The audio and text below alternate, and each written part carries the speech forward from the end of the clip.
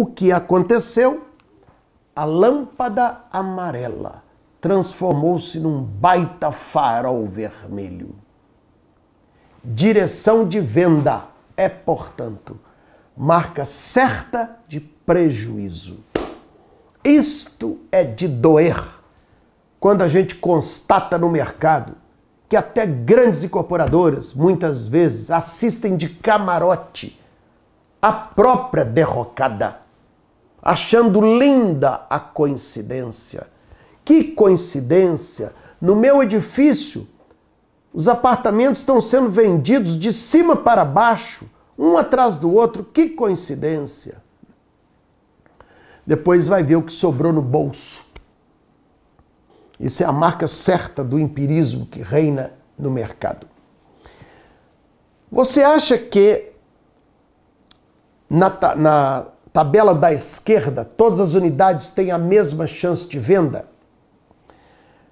Enquanto você vai pensando nesta pergunta, eu gostaria só de voltar uma frase sobre essa história de direção de venda. Por que, que é marca certa de prejuízo? Na verdade, dois prejuízos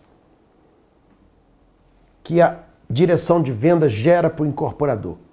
É a presença certa de unidades preferenciais que os espertinhos vão descobrir logo de cara, estejam certos disso.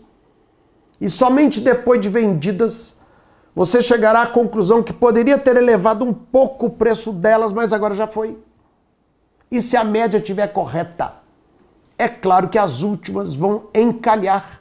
Para vendê-las vai ter que dar desconto e desconto sai do lucro, segundo o prejuízo. Direção de venda é, portanto, por essas razões que eu expliquei, marca certa de prejuízo. É isso que eu disse que é de doer. Até grandes incorporadores, quando assistem de camarote a própria derrocada, no meu edifício está vendendo de cima para baixo, que coincidência, depois vai ver o que sobrou no bolso.